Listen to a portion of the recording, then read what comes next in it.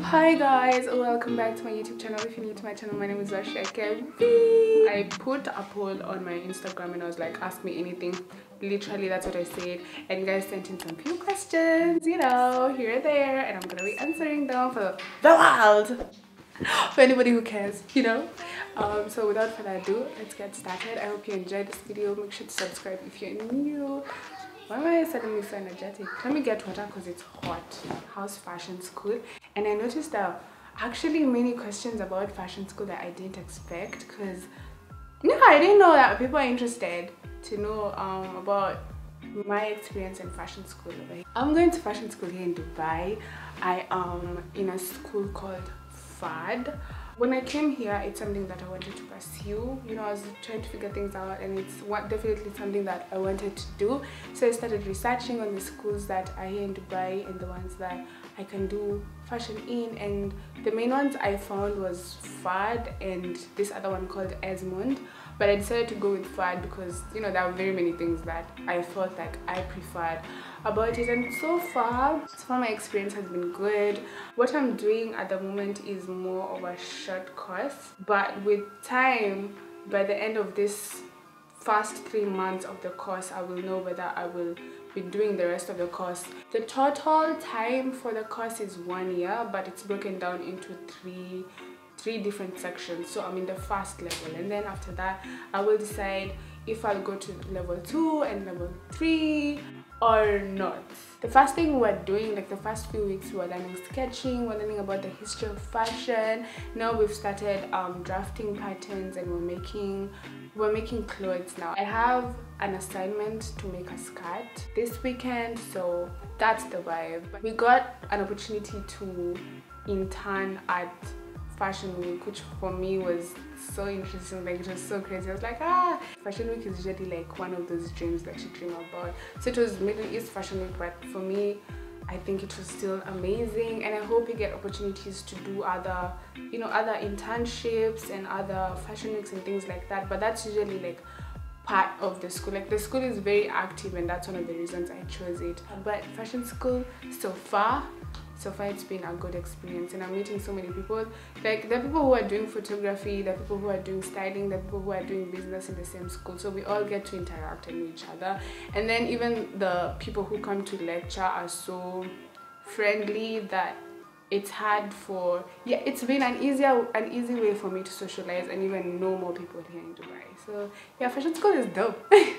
Where did you shop your clothes while in kenya? Also I love everything about you. Oh my god. oh my god. That, now I feel like I'm praising myself, but that's so sweet. Like I really appreciate that. One thing about the internet is sometimes it's really nice just when you put out something to the world or like it's like when when you're a kid and then you show some someone something that you've drawn and then they're like oh that's really nice you feel nice so compliments are always something good go compliment someone today question was where did you shop your clothes while in Kenya? The first place um, I used to shop was Toi Market because I used to live near Toi Market so I used to go to Toi Market. Also I used to shop in, should I call it Roysambu Makasarani?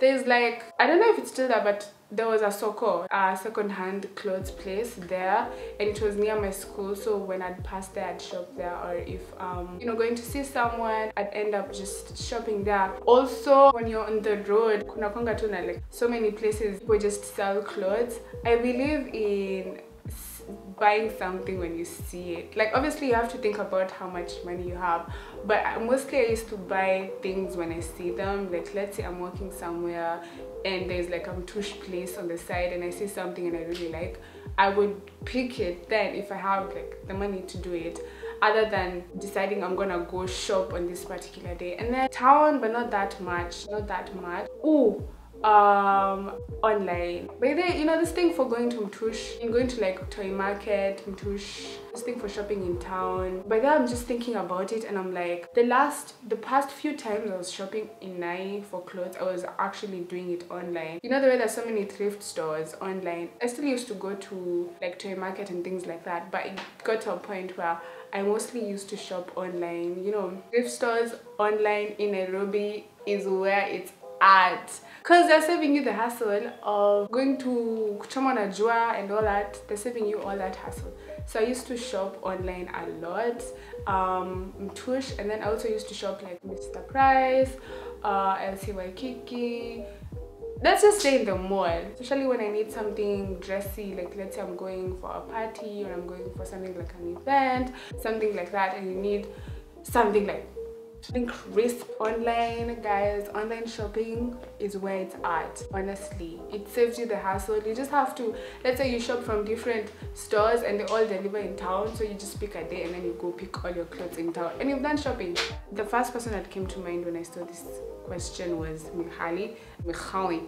Mihlali. This is in terms of influencing. Like obviously people do very many things on IG, but I'm talking about influencing. Are many people, but she's among the people that I've seen grow from, you know, like she started from way back when and she's been consistent.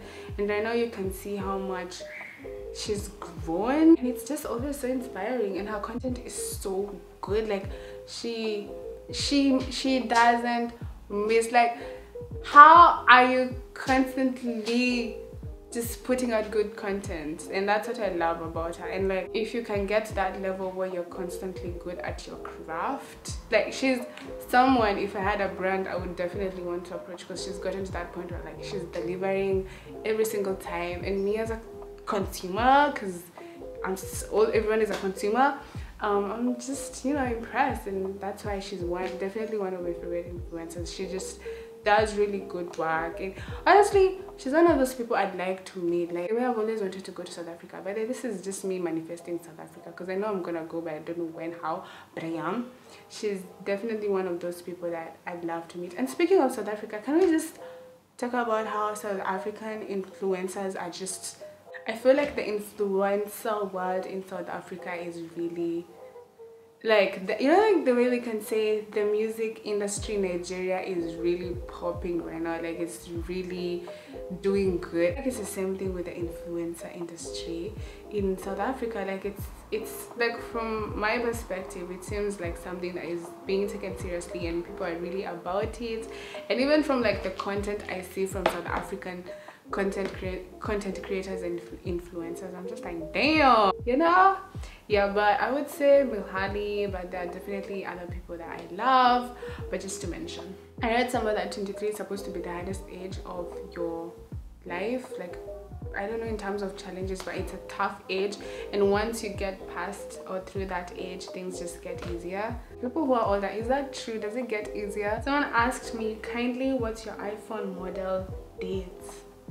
Had this baby for a while now. It's an iphone 11 and i probably think the person was asking who was asking me this was asking me because of my photos on ig I use it a lot to take photos but guys let me be honest i've been noticing like is it me or is the quality of my camera going down. And i've seen this where iphone things start going down after newer iphones are released. Does that also affect the camera? Because of late i've noticed it's not as uh, as it used to be. Or is it the way i'm keeping it? I don't know. Could it be me? Am i the drama? I remember i saw this question and i was so curious. So i checked out both of them. Santorini is dope and and really nice and beautiful and i feel like everyone goes there.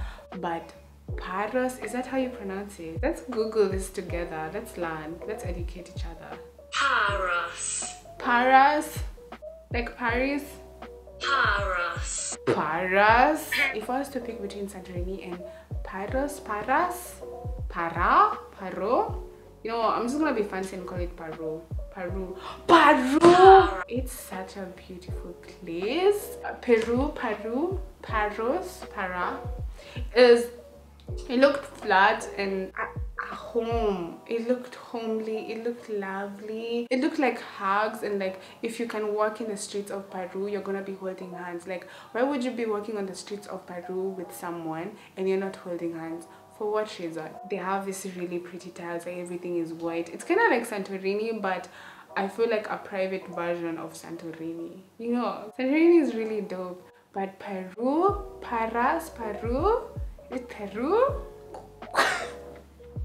cut the cameras dead ass I hope you guys have enjoyed this video. Please do make sure you subscribe if you haven't and I'll see you guys in the next video.